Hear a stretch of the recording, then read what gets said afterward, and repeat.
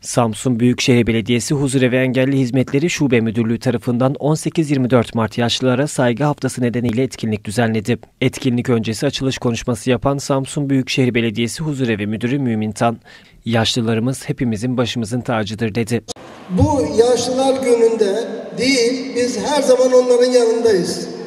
Çünkü onlar bizim annemiz, babamız, büyüğümüz olarak biz gereken her türlü onlara saygıyı, sevgiyi, şefkati gösteriyoruz. Konuşmanın ardından Büyükşehir Belediyesi Konservatuarı ses sanatçılarının söyledikleri şarkılar ve halk dansları oyuncularının sergiledikleri performans katılımcılara unutulmaz bir gün yaşattı.